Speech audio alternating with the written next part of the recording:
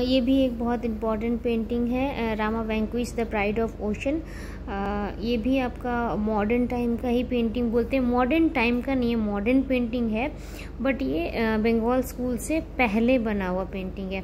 तो subject matter पे की हम बात करें तो ये वाल्मीकि की रामायण का एक सीन है, जब राम जी सीता को लेने जा रहे थे लंका से तो वो ब्रिज बनाना चाहते थे समंदर के ऊपर तो उसके लिए जो है परमिशन मांगते हैं, और वरुण देवता जो है परमिशन नहीं देते हैं, वो सागर को, हट जाने को कहते हैं और सी, बीच बना, ब्रिज बनाने के लिए।